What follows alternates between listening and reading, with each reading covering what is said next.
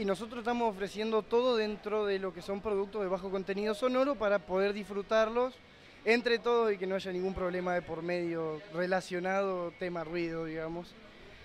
Y que pasemos una fiesta lo más sana posible. Hubo como una reconversión, ¿no? De unos años a la fecha, de ofrecer pirotecnia pero sin impacto sonoro. Exactamente, es lo que se pide justamente para no influir sobre el resto de la gente, ya sea la que tira o no tira pirotecnia.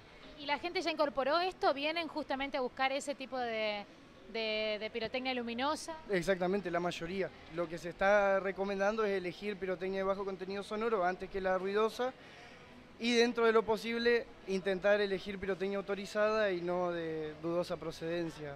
Dentro de esto que nos planteas, ¿qué variedad de cosas hay? Y tenés desde estrellita, chaquibum para los más chiquitos hasta eh, shows de luces como son tortas ya de 12 tiros en adelante. ¿Y qué es lo que, lo que más está llevando la gente? Y lo que más se lleva según las edades, ¿no? Exactamente, exactamente. Generalmente el chiquito te busca más una bengalita, una estrellita y ya del adolescente más para arriba buscan ver algo más, un poquito más grande. ¿A partir de qué precio eh, se puede conseguir algo para, para esta noche, para la del 31?